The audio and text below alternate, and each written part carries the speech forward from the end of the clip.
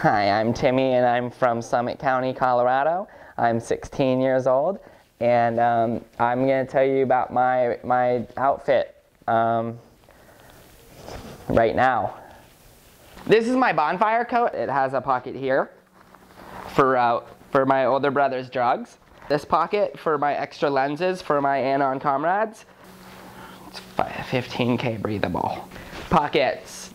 My pants are FourSquare. My mom thought that they were they were cool because they've got these pockets over here, but I got them because um, I really like to do this when I get to the mountain. And then all the older kids let me ride with them. And Jenny said they were nice. I got my hat from uh, Robbie Sell. Um, it's it, he. I met him at summer camp. Now I'm going to show you um, how well um, it's it's working with the waterproof and well Yobi, pretty harsh conditions out here. No fog.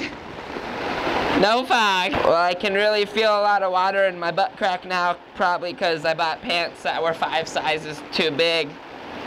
But my older brother John told me that's how all the cool kids are wearing them, and you know, that's all I really wanted.